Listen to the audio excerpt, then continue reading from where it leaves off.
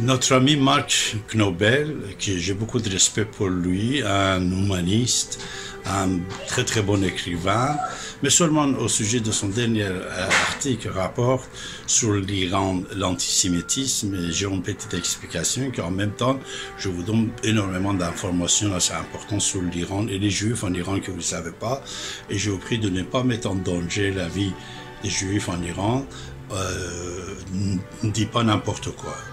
Voilà, il faut dire la République islamique d'Iran est antisémite, pas l'Iran. Merci Marc Knobel, que tu sais très très bien, j'ai beaucoup de respect pour toi.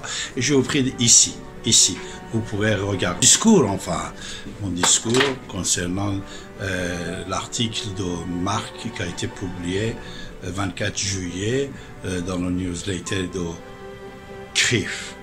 Tous mes respects Marc.